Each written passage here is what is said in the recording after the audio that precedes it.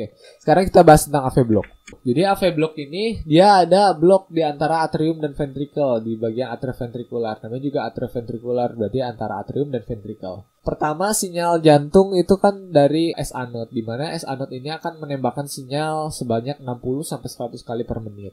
Nah, sebenarnya selain dari S anode juga bagian-bagian lain seperti AV node atau Purkinje fiber dia juga mengeksitasikan sinyal untuk eksitasikan tapi dia nggak akan diterima oleh sel otot jantung yang udah menerima karena dia punya refractory period. Jadi, yang bakal mengatur atau memegang ritme jantung secara keseluruhan adalah pacemaker yang memiliki ritme paling cepat, yaitu S anode karena dia 60 sampai 100. Misalnya S anode-nya ada kelainan nih misalnya. Jadi dia eksitasinya cuma 40 kali per menit. Sedangkan AV node dia eksitasinya 50 kali per menit. Yang bakal memegang ritme jantung secara keseluruhan pasti yang AV node karena dia lebih cepat dari SA node.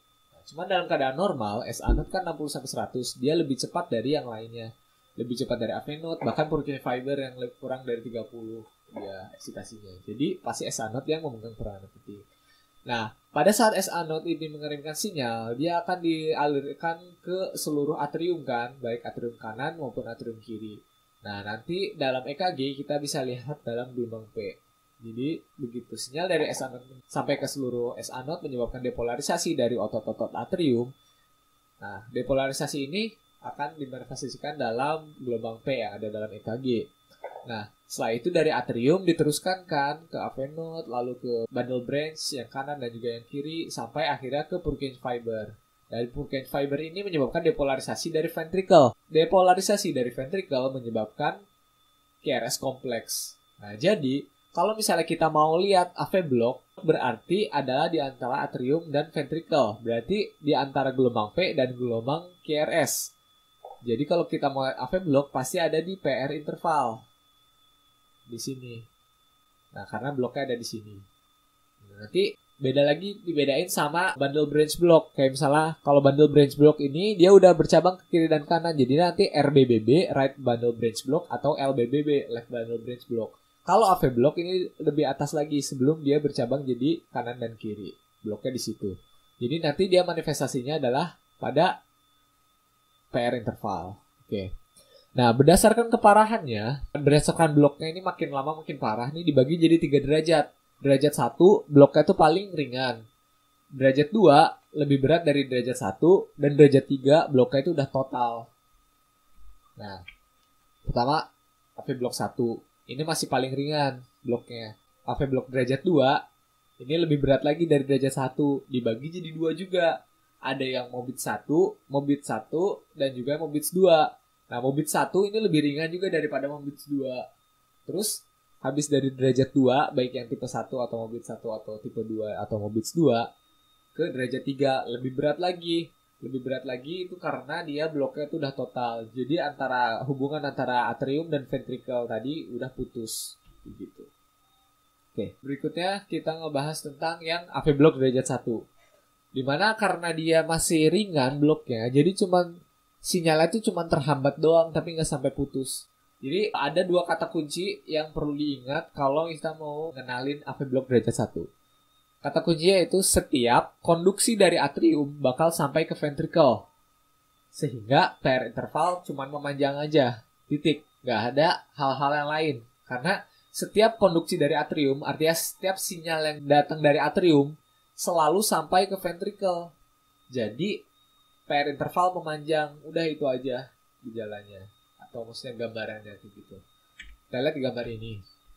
Jadi di sini ada yang namanya partial block kalau misalnya di AV block derajat 1. Jadi hanya sebagian doang sehingga semua sinyal yang dari atrium tadi bakal tersampaikan ke ventricle.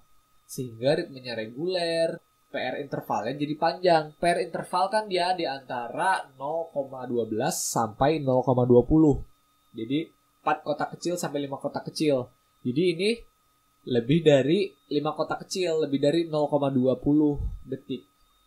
Jadi lebih dari empat kotak kecil. Jadi kalau misalnya AP blok derajat satu, ya udah dia cuman PR intervalnya doang memanjang dan biasanya reguler. Kayak misalnya ini contohnya, dia PR intervalnya 2,0,26. Ini juga PR interval berikutnya lebih panjang lagi, lebih panjang lagi, lebih panjang. Nah itu dia. Makanya dia masuk bradikardi karena karena PR intervalnya panjang terus aja jadi rate-nya bakal turun tapi dia juga nggak akan sampai di bawah 50 juga jadi meskipun dia nggak di bawah 50 tapi karena dia AV block kita lihat ritmenya AV block berarti dia masuk aritmia kita tata laksana berdasarkan aritmia meskipun harganya nggak sampai di bawah 50 oke ini kan udah ya uh, dia tadi kata kunci yang harus diingat pada AV block derajat 1 setiap konduksi dari atrium sampai ke ventricle dan PR interval memanjang. Udah itu doang.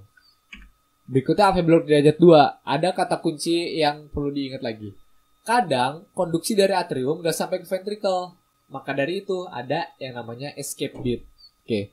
Tadi yang tadi mas setiap konduksi dari atrium sampai ke ventricle. Kalau ini kadang konduksi dari atrium gak sampai ke ventricle. Jadi gak semuanya sampai. Ada yang sampai, ada yang enggak. Makanya ada yang disebut dengan escape beat. Nah, escape beat itu apa?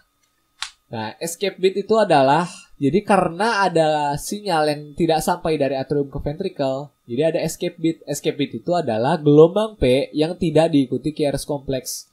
Kenapa gelombang P nggak diikuti QRS kompleks? Karena ini kan gelombang P karena adanya depolarisasi dari atrium. Pas atrium udah depolarisasi, sinyalnya nggak nyampe ke bagian ventricle. Jadi karena sinyal yang gak nyampe, ya dia nggak akan ngebentuk lagi RS kompleks. Karena dapat sinyal dari mana, dapat listrik dari mana untuk depolarisasi, karena nggak nyampe. Tapi itu cuma terjadi kadang-kadang. Itu tadi, makanya dua kata kunci ini harus diingat. Kadang konduksi dari atrium tidak sampai ke ventricle. Karena kadang tidak sampai, jadi ada yang nggak sampai nih. Makanya gelombang P tidak diikuti KRS, disebut dengan escape beat. Tuh. Nah, dia ada perbedaan nih antara Mobit 1 dan Mobit 2. Tadi kan udah bilang juga kalau yang Mobit 1 ini lebih ringan daripada Mobit 2. Nah, makanya karena dia lebih ringan, jadi ya pertamanya nih masih PR interval panjang doang. Tapi makin lama makin panjang lagi, makin panjang lagi. Kalau makin panjang artinya bloknya makin berat kan.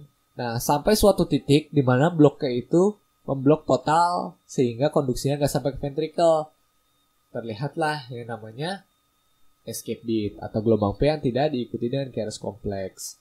Dan ini juga dia reguler. Yang dimaksud reguler dari sini kan dimerahin nih, beda sama yang reguler yang di sini. Karena ini kan reguler jadi sama terus 0,26, 0,26, 0,26, 0,26. Nah, pada yang bagian ini ritmenya reguler tapi ditandai gini. Maksudnya itu dia itu teratur dan terprediksi. Artinya apa? ini kan kita bisa lihat dia panjang, makin panjang, makin panjang hilang. Nah berikutnya dia bakal berulang. Jadi kita bisa prediksi kapan escape bit berikutnya itu bakal muncul. Jadi panjang, makin panjang, makin panjang, hilang. Nanti kita bisa prediksi, berarti dia panjang, makin panjang, makin panjang, hilang. Sama kayak gitu, bakal berulang terus. Itu. Itu adalah tanda dari mobil satu. Nah, berikutnya itu mobil 2. Ini lebih berat kan daripada yang mobil satu. Nah, karena dia lebih berat daripada yang mobil satu, berarti dia bakal escape bitnya lebih gak beraturan lagi. Gak panjang per intervalnya, toto hilang. Jadi, kayak kita nggak bisa prediksi aja gitu kapan dia bakal muncul escape bitnya gitu. Kalau yang ini kan misalnya salah normal, panjang, makin panjang, terus hilang. Nanti berikutnya berulang lagi, jadi kita bisa prediksi kapan itu hilang. Kalau ini dia PR intervalnya asalnya normal, toto hilang, toto hilang. Jadi hilangnya itu kita nggak bisa prediksi gitu karena uh, bloknya ini udah lebih parah dari yang uh, Mobit satu kayak gitu. Nah berikutnya adalah AV blok derajat 3 Ini kata kunci yang perlu kita itu sama dua lagi. Yang pertama setiap konduksi dari atrium gak sampai ke ventricle. Artinya udah benar-benar putus tuh hubungan antara atrium sama ventricle. Terus yang kedua, gelombang P dan QRS jalan masing-masing dengan ritmenya masing-masing atau tidak saling berhubungan. Jadi gini, karena atrium itu udah nggak ada hubungan sama ventricle, jadi sinyal dari atas nggak ada yang sampai ke bawah. Jadi atrium cuman S anode nih cuman eksitasi untuk mendepolarisasi atriumnya doang. Jadi sinyalnya nggak akan sampai ke ventricle. Akhirnya gimana? Akhirnya ventricle ini dia juga eksitasi sendiri. Jadi karena ini udah bloknya udah total nih nggak ada hubungan sama sekali. Jadi si S anode ini dia depolarisasi eh dia eksitasi untuk mendepolarisasi atriumnya sendiri. Sinyalnya nggak akan nyampe ke ventricle. Akhirnya ventricle gimana? Dia ada eksitasi sendiri. Dia bakal ngeluarin titik eksitasi sendiri. Cuman secara fisiologinya SA not ini punya ritme yang lebih cepat kan. Dia 60 sampai 100 kali per menit. Sedangkan kalau ventricle, sel-sel ventricle mungkin cuma 30-an atau bahkan kurang dari 30 kali per menit. Jadinya nanti di EKG-nya gambarannya gimana? Akan ada gelombang P dan gelombang QRS yang gak saling berhubungan. Maksudnya gimana? Ya udah P P P P P P ke P bakal reguler terus-terusan muncul gitu. Tapi QRS-nya ya tahu-tahu ada di sini, tahu-tahu ada di sini, tahu-tahu muncul aja semua dia gitu. Misalnya ini juga ada gelombang P, P, P, P ke P reguler nih kita bisa lihat. Tapi QRS-nya tahu-tahu muncul di mana aja gitu. Jadi bukan QRS yang didahului oleh gelombang P, tapi gelombang P yang reguler dan QRS-nya ada di mana aja kayak gitu. Hasil buat yang derajat 3 gitu. Jadi dia kayak jalan sendiri-sendiri tapi nggak berhubungan gitu nggak saling berhubungan. Ya udah P jalan sendiri QRS jalan sendiri. Nah kalau misalnya kita bingung nih ini berhubungan atau enggak kita lihat aja. P ini nggak ada QRS P ini ada QRS P ini ini bukan escape beat tapi uh, dia emang jalan sendiri-sendiri gitu. Terus kita juga bisa konfirmasi dengan hitung aja. Heart rate P ke P ini pasti reguler misalnya ini kita hitung nih berapa kotak kecil 1500 sebagai kotak kecil P ke P itu pasti reguler dan kayak uh, ritmenya atrium 60 sampai 100. Tapi kalau kita hitung ke R ke R ini dia bakal jauh lebih lambat ritmenya daripada P ke P ini.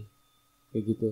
Dan reguler juga dia karena dia eksitasinya dari titik pacemaker dia sendiri di ventricle. Kalau atrium ya dari SA node kayak gitu. Jadi dia jalan sendiri-sendiri tapi nggak saling berhubungan kayak gitu.